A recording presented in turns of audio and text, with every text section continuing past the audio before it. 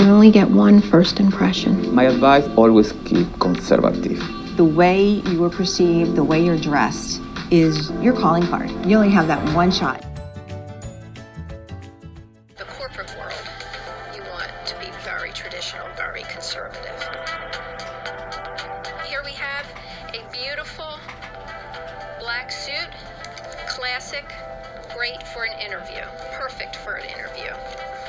I always recommend that you purchase the skirt and the pant because then you're ready for their second interview. As far as what goes under the jacket, we always recommend it stays with a light color. Bold prints would be a no-no. If you choose to go with a shirt that has a collar, white is always a great option. There's nothing like a nice white, fresh blouse.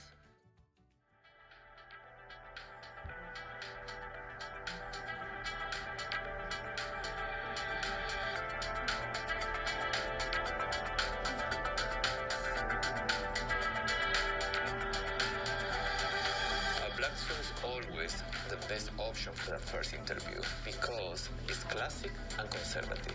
A light shirt is always the safer way to go to interview. You can go with a white or maybe a light color. For example, in this case, you can see it's a solid. You should never go bare-legged to an interview. You should wear a nude color pantyhose.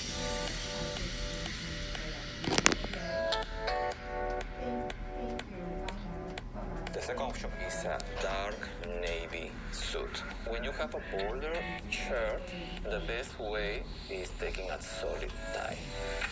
Because if you have a solid jacket, solid tie, and the border is great.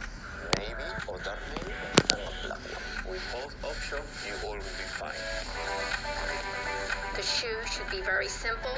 The toe should not be showed. The heel should be no higher than two inches. Don't forget, keep the shoes clean That's the first impression you need to keep in mind. You're going to do jewelry, it should be very simple.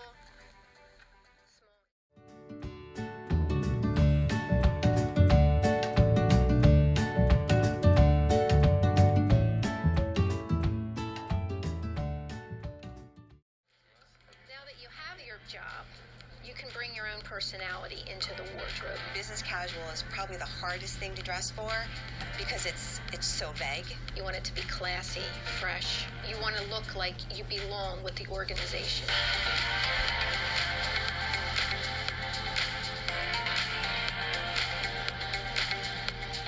So now we have our business casual, which can be a little bit more fun. You can put in your own touches with it. A bold print works fine for business casual.